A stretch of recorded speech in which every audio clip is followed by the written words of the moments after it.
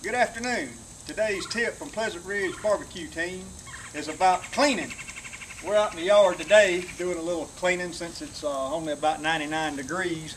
Uh, cleaning off the porch, cutting a little grass, that explains the look.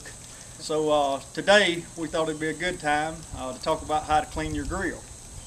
Now fortunately today we've got all kind of wonderful products. Here's some Dawn it's supposed to cut grease, Fabuloso, uh, different kind of foaming cleaners and some uh, Clorox cleanup with bleach. Now all those are designed to cut grease and to really make things clean and nice and shiny. Uh, I'm joined today by Corey Jr. He's our production guy, uh, merchandise sales and video production. Uh, Corey, tell them uh, which one of these we like to use in cleaning our grill. Well, we don't really use this one a whole lot. We don't really need this one. Don't need this one either. And this one, don't really need it. So in other words, don't use that mess. All you need to clean your grill is a good wire brush, they sell them everywhere, and a good putty knife, either metal, plastic, whatever you can find, and water. That's all you need to clean your grill.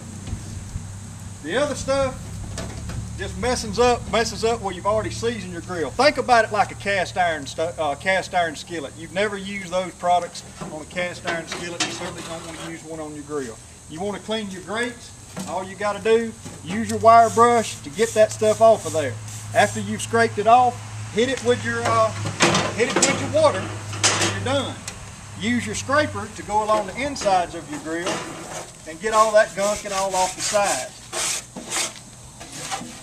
You want to keep some of that in there. This works whether or not you're using a gas grill, smoker, uh, whatever type of, of grill that you're using.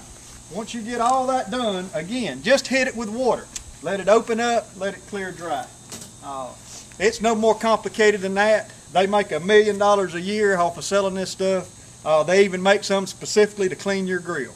Uh, the message from Pleasant Ridge Barbecue Team today is you don't need that. Uh, two pieces of equipment and water. We'll see you next time on Pleasant Ridge Barbecue Team with some uh, more tips for you.